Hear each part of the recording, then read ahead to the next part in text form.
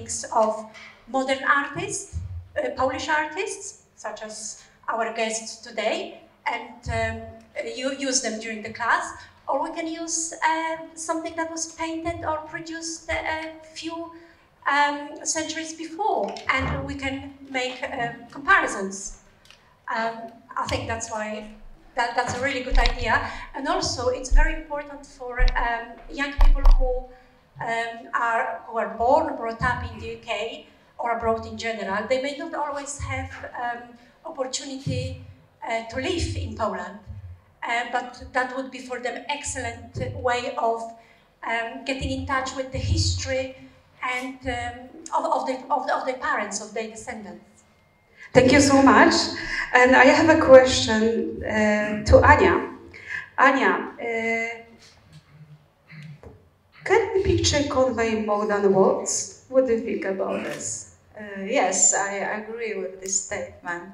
Um, words can be forgotten by people, but images and portraits of people will always somehow remain in our memory, uh, our brain. Uh, so the picture is more sensitive, um, um, engage our uh, sights, ears, everything. Thank you so much for your answer. And the same question to you, Basia. Exactly the same. Can a picture cover more than words? What do you think? You are the great artist. Uh, what do you think about this? About? Uh, about this question. Can a picture convey more than words? Czy y, obrazy przekazują coś więcej niż słowa? Aha. No, obrazy to zależy, zależy y, z jakiej epoki. Obrazy w dzisiejszych czasach nie przekazują żadnej treści. To jest absolut rubbish i dużo lepiej jest pójść do Brompton Oratory, zobaczyć kawałek, nawet kawałek posadzki. Jest, jest piękniejszy aniżeli to, to co widzimy w galeriach. Okay, uh, I'm very surprised because I didn't expect something like this. Uh, but I really respect uh, your opinion. Uh, but let me know if you say something like that. Why you paint the people? Why you try to make a portrait? Why? Mm-hmm. Okay, I can uh, tell you why. I was studying uh, in Academy of Art in Gdansk six years of abstract. So I had very good diploma, I painted beautiful big abstracts, went on Biennale here and there, and then I had an exhibition in Rome, and with my beautiful big abstracts, and one self-portrait with abstract, and everybody came to this self-portrait, say, if you can paint this, why do you do those? So I couldn't understand what, what, the, what it meant. And then, uh, so I then had commissions and I painted, uh, of course, uh, portraits. And then to, if you paint portraits and when you are very young, you can come up to anybody and say, I, I, I, I like your face, can I paint your portrait? And everybody says yes. And I remember in Rome, I asked Alberto Moravia. Alberto Moravia, nobody knows him in England, but in the time when I was, we were growing up, Alberto Moravia was great hero of literature and everybody knew him. So I said, I would love to paint you. He said, of course, of course. So I went to his house, I was painting him, and he was talking the whole time. So I had this experience listening, and I said, in the end, I got angry. I said, look, if you, if you continue talking, I can't paint. And he said, listen, I'm a writer. I, I need my pleasure. You are a painter. You have your pleasure. I need my pleasure. So you see, when you're a portrait painter, you can come up. It's a little bit like being a journalist. You can. I like to interview you. You can't say no if you're young pretty girl. So everybody says yes. okay. So before uh, you give a microphone to Dan, I have a question. Uh, another question to you and to Anya and Dan and Beata, the same question. It's a tricky question. Do you think that the portrait painting is a promotion of Poland? Is it promotion of Poland? Is it promotion? Yes. Do you think? Yes, yes, because everybody says, oh, she's Polish. This is Basia Hamilton, she's Polish, she painted Queen Mother. That's all, end of discussion. of course. No, no, it, it, whatever we do is like like the, the, the mathematicians. They are Polish, but they they they are still not that well known in Poland, in, in England, because we we brought up in Poland, we did not have this idea of promotion. We, we are not used to promotion, which was very undignified to promote something. Business, business didn't exist, nobody had any money, so we didn't, we didn't, we don't know, we are not used to promote anything. Thank you. Anya, it's the same question to you, and next Dan. Oh, maybe Dan. What do you think? Now, I'd like you to repeat that question once more, Yes, because please. some of the words I didn't quite hear Okay. in the beginning. Do you think that the portrait painting is a promotion of Poland? Uh, Not all portraits painted are promotion of Poland. Mhm. There are portraits of some very nasty people who get associated with Poland. I won't name any names. Uh, Well, Like who? okay, well, I- Please let us know because it's quite interesting statement. Well, I don't have a name to name. I'm drawing on my experience of my work with the Polish Media Issues Group, and we would defend Poland in the press, in the media, in books, etc., and even in films, by those who would say, "Ah, I'm Polish," and they do something really nasty. Oh yes, that's so true. that's the alternate side of the coin. Mm. There are some negative things that do happen because I'm Polish. Um, I could talk about someone named Tokarczuk. Anyone know that name? Yes, we know. uh, a Nobel Prize winner. Polish by birth, but I hope don't get in trouble for this, but I would say not Polish by nationality. She's Ukrainian. I thought she, well, she was in, she has Polish citizenship. Okay, I think her, her roots may be different, but she's recognized as a Polish Nobel Prize winner. Thank you. But the trouble is, Mhm. and her portrait here, her, not her portrait probably, and also her um, picture has been all over the place for years now. And she says some very negative things about Poland, some of which may be true, but she gives a certain slant to everything she does that makes it negative. As I'm getting nodding heads here, yes, we know this. And it makes me really upset. So I won't say angry, I'll say upset. So that's a negative image that we'd like to mm-hmm. counteract. Mm-hmm. But the thing that Basia has been doing for decades now, that's amazing. But I don't think everyone realizes that she's Polish. We do. No, what, no, We know that you are Okay. Polish, Basia. We haven't any doubts about that. we, we in the Polish community know, but not necessarily everyone. Everyone will realize that Kaszmorski is a Polish name. Most people know. No. Of course, yes, I agree with Basia. And I have a I'm sure you're right. Okay. Uh, thank you. one, I one more comment to make. though. Yes, please. in this age, uh, think back to um, 40, 50 years before we had iPhones or smartphones or we had mini cameras or things like that. The images you saw were those of professional photographers or professional artists or something on television. Very few images. And now, as you know, we are flooded with images. Absolutely inundated with images of all sorts of things we don't want to see, but lots of things we do want to see. So I'm saying the answer then is we must promote positive Polish images. Portraits are a key way to do it, but then these days there are many times more photographs taken and spread around than portraits. Portraits are something very, very special. They're created. A camera, click, you've got a photo. So it's amongst all those images, we need to promote the, the fact that the Polish ones that we want to do are actually useful and good for society and the world. And we have enemies. Poles have enemies. We still do in many ways. I won't even name any of those. But across in the Polish Media Issues Group, I come across them every day. And we've got to combat those negative images they're putting out and make sure that we literally promote Poles that are a positive image for our country, for, the, for our country of Poland, and even Poles abroad, whether it's USA, where I've lived for many years, or UK here, or France, even Germany, etc. So it, there's a, lot of work yet to be done. You can have a, you can, we can have a very positive effect, but there's an awful lot of work put in to get that effect. Mhm. Thank you so much for your opinion. Thank you. It's a very important voice. And Beata, what is the first pictures you remember from your life? Uh, think about this. It's a very tricky question. And why? And we will back during for second to Anya about do you think that portrait painting is a promotion of Poland during few second? But Beata, you are first. Um, first of all, I'd like to uh, make a comment to what um, Ania said.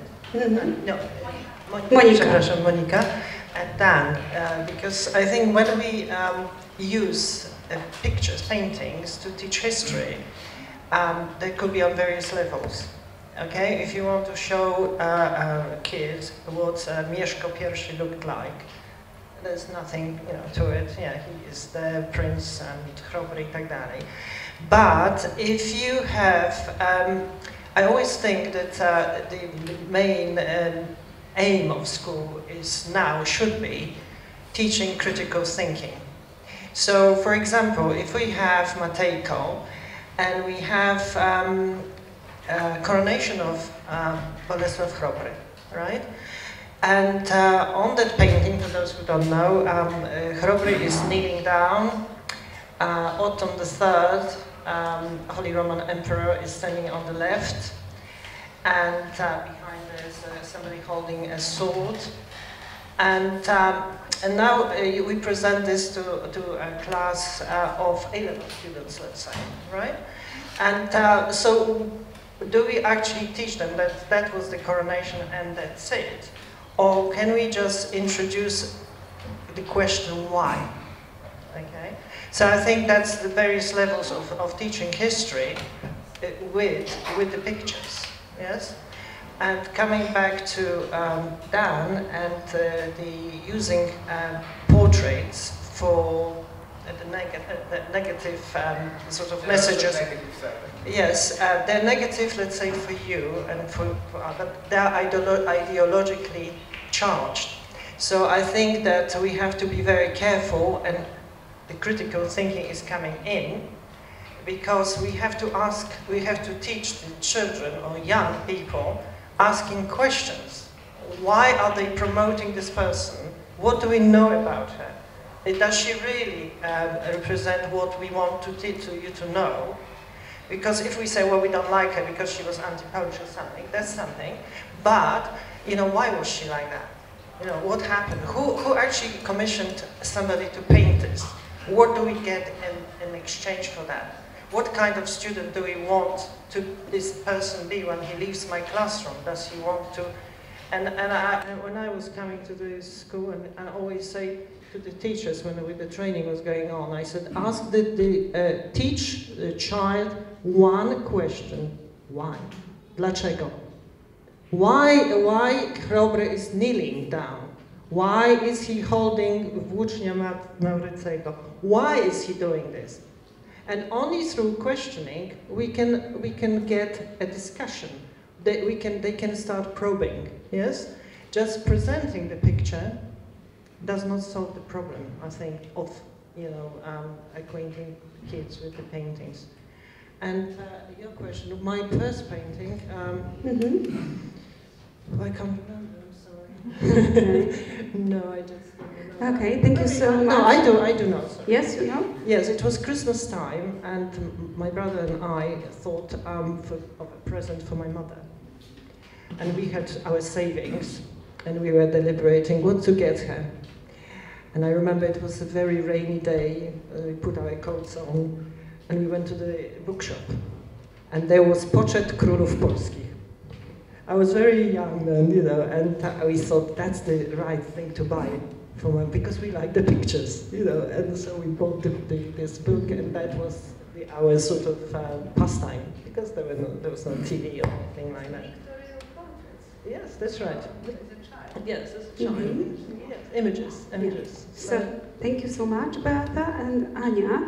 Uh, bef- uh, what is the first pictures you remember from your life? And the second question, do you think that the portrait painting is a promotion of Poland? So maybe the second question. Okay. Second So- question is for you. Of course, I think it's true that it's kind of promotion, but we can uh, say about a good pa- portrait painting. Good, it's the very uh, important word. Uh, so, because it's promotion, priceless promotion of Polish achievements, skills, uh, sensitivity, um, everything what is very um, memorable for, for us. And um, uh, I think that um, another uh, nationality could uh, know about uh, Polish um, um, humanists, uh, oil painters, or um, artists, especially artists, but good artists, I think. Thank you so much, Anya. Anya is from Poland and she's absolutely amazing writer. Uh, she is author of uh, a book uh, which was published last year, uh, 2022. She's a poet uh, as well, and she's a journalist. And I know how tough it is to Anya to speak in English, but she's absolutely brilliant in Polish. So if you will have a if we will have a time, this next question for Anya, I would like to ask in Polish, but not yet, not yet, Anya. So I believe that you understand me, okay? But thank you. I think I know. Relaxing. So, Monica, the same question to you. Uh, what is the first pictures you remember from your life? I have no idea, so I'll probably have to um, tell you about the painting that I um, I like a lot, and it's the one by Matejko, and it's called Conversation with the God, obviously portraying um, um, Copernicus. Mm, thank you. This is my favorite as well. I uh, never ever forget the event which was organized by uh, Polish Culture Institute in the National Gallery, and I had and we had opportunity to see this beautiful masterpiece. Thank you again to Polish Culture Institute because it was a big achievement, and we had a big opportunity to see these things. And Basia, the same question to you. Um, what is the first picture you remember from your life? Do you remember something? The first pictures which do you remember? I remember in our library at home there was a book uh, by Grottger, and I remember such gloomy, dark, black and white pictures, and I think that is my first uh, sort of emotional feel about about uh, paintings. Otherwise, I don't remember any other. But Grottger, I always recognize Grottger. It was very patriotic and and, and gloomy, you know. Thank you. Thank you so much. Uh, Basia is very important for all of us, but uh, special for me because uh, for me she's like a mecenas. You know why? Because uh, when I look at Basia, at her uh, achievement and what she's doing for a young generation, I always remember about the Karol, Karol and his absolutely amazing uh, support for Jace- Jacek Malczewski. As I said yesterday, Karol Lanckoroński helped him a lot, and uh, next Karolina Lanckorońska promoted uh, the Jacek Malczewski masterpiece. So this is the same story, so Basia, thank you that you are here and you are conduct, you know, the Portrait Foundation. You are in our hearts, you are precious. And the last question, for everyone is the same. Is it worth organizing such events as this? What do you think? We have to organize the events like this or not? Is um, important? Maybe not. What do you think? The first, uh, Beata.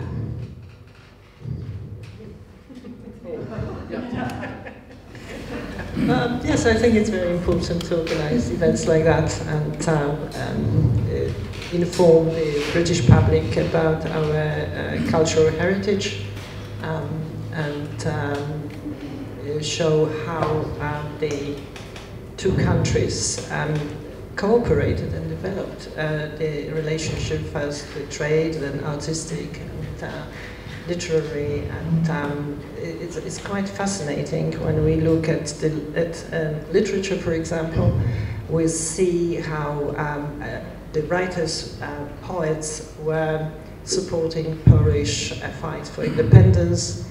Uh, how the parliamentarians uh, were lobbying on behalf of the Poles uh, in fights for independence, And uh, I think we need to make uh, people, Poles, aware of that, of the depth and width of uh, uh, cooperation uh, with our countries, because understanding uh, each other, one another, is, is so important. And discussions. So um, I think the events like that. Thank you so much. And the same question to you then. Well, um, what you've said makes me think of the uh, war going on in Ukraine at the moment. I haven't seen a more positive uh, worldview of Poland for a long, long time, except when the Poles opened their homes and their hearts and their everything else to these Ukrainian refugees flooding over the border. That was a very positive moment, and I think that has been used very well within the UK and within the world, I guess, to promote a very positive image of Poland and especially of Poles, the character of Poles, how generous they are, even to a fault in some cases. And yet now, as that war grinds on, the pressures are building in terms of how much can Poland take, basically, and how much can the rest of the world take in helping Ukraine survive against Russia.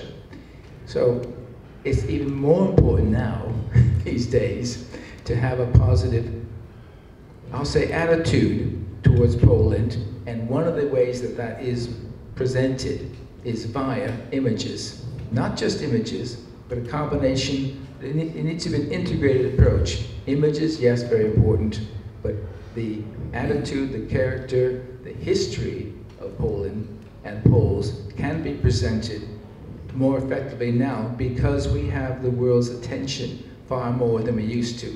So that's a jolly good thing. And I'm hoping that you know, we can make this very important today, today more than five years ago. Thank you so much. I'm really glad that you say that because in our, because we have uh, someone special here. She's a very modest person. Her name is Gosia Jones. Gosia is the, in the last row and she did absolutely incredible job. Uh, Gosia organized. Uh, oh, Gosia, may I? Uh, okay, please join to us. She supported Ukrainian people from the beginning of the uh, war, and she organized a lot of transport to Ukraine. I met uh, Gosia one year ago, and we organized a lot of um, help, humanitarian help to Ukrainian people soldiers, and she received a special award. Maybe Gosia mentioned about this. Uh, how many we sent to Ukraine? Please let us know. Loads, Asha, you know, loads. It's not even about the lorries which we send on a regular basis. It's about raising funds and support Ukrainian army. We are trying to get cars, medical equipment for uh, Ukrainian soldiers we work on a massive scale. There's loads of things which I don't really want to talk in public, but I feel I must do it. I feel we Polish people, we know what does it mean under, to be under Russian occupation. And I'm saying big no to that. And if I have possibilities, if I have amazing people who I work with, yes. And if we can do something together to make this war a little bit easier, then why not to do it? I'm proud, I'm Polish, my husband is English, this is my daughter, and they know their support means a lot to me because without them I wouldn't be able to this what I do. In December 2022, I was uh, nominated by uh, the mayor of Waltham Forest as a volunteer of the year. So I was very proud of myself. Yes, I was the only one Polish person. Yes, who actually won. And yes, I'm very proud of Poland. I'm very proud of my family, and I hope that together we can achieve more. Thank you so much, Gosia. Gosia is modest person and her husband is here. Thank you so much that you understand us. That thank you for your patience. Thank you, little star, that you support us. I remember we spent sometimes all sometimes all night to organize everything. I remember when I speak with you and you said, oh, I'm fed up because, you know, it's mess everywhere. Uh, but we save life. We send um, medicines, we send a lot of other goods. And nobody knows about that, but I know Gosia, and I would like to give you a big hug. Yes, thank you so much. Brava. and now we're back to you, Basia. The same question. Is it worth organizing such events as this? Czy warto organizować takie spotkania jak to, Basiu? No naturalnie, no to jest naprawdę, byłaś genialna. Ten, to spotkanie było zorganizowane chyba w ciągu tygodnia. Zaproszenie do klu, członków klubu zostało wysłane w piątek. Także dwa dni przed, przed tym wydarzeniem. Także to było zupełnie nadzwyczajne, że udało się to zorganizować i że taka masa ludzi przyszła. Także Polacy właściwie chętnie się spotykają i ten klub jest właściwie założony do tego, żeby tutaj robić spotkania Polaków i żeby Polacy też mogli wymieniać między sobą idee, bo są bardzo mądrzy i, i po prostu powinni się bardziej jednoczyć. I ja, ja żyję w takim w uczuciu spokoju, że Polska będzie, będzie zawsze wspaniała, bo Polacy są, nic się nam złego nie stanie, bo przeżyliśmy i komunę, i 100 lat niewoli, i, i, i wojnę. I Polacy są bardzo, bardzo zdolni. Także ja im, im więcej znam Polaków tu na, na zachodzie, tym bardziej wiem, wiem, widzę, jak są, jak są po prostu, jak sobie potrafią poradzić z każdym problemem. Na przykład kiedyś, jak były telefony na żetony, to Polacy w Szwecji zrobili sobie dziurkę w żetonie i spuszczali na żyłce z góry na dół. Także Polacy mają zawsze koncepcję wspaniałą. A, a też powiedział mi Maciek Kielenowski, że Polacy zrobili sobie foremkę z, z, z żetonów i wpuszczali te żetony z lodu. Polak potrafi. A, dziękuję Basiu.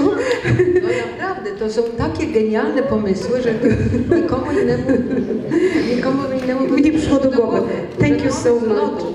Mm -hmm. Aniu, uh, the same question to you. Uh, it's up to you which language you use.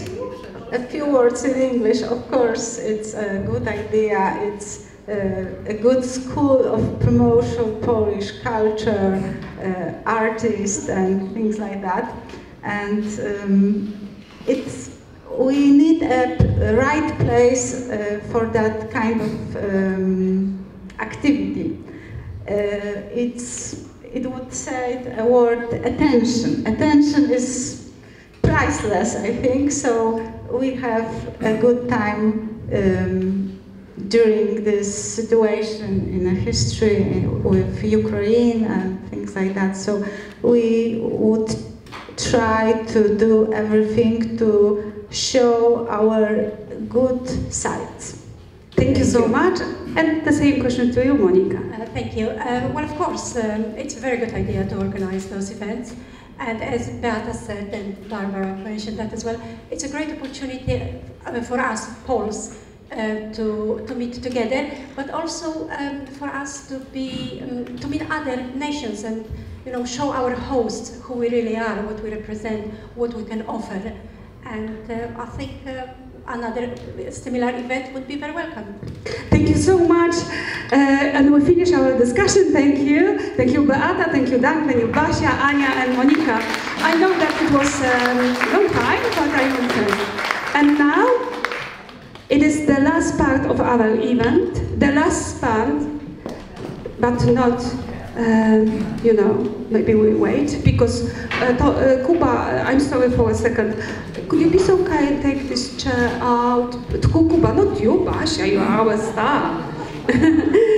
As you see, Basia is not only the star, she's all, uh, also the very modest person. Thank you, Basiu. Polish people uh, can do anything, no? Basia said that this event was organized uh, because we are cooperate each other. Thank you for the words. Basia is very modest, but when I contact with her and said, oh Basia, it would be nice to organize event for the Polish artists Tadeusz Kurek and Rosalia Nowak, uh, I didn't expect the answer straight away. But she said, of course, we have to support each other, we are artists. So I look, I, I was flabbergasted because it was amazing. This is a character of Basia. Basia, thank you so much for that. You're an amazing person.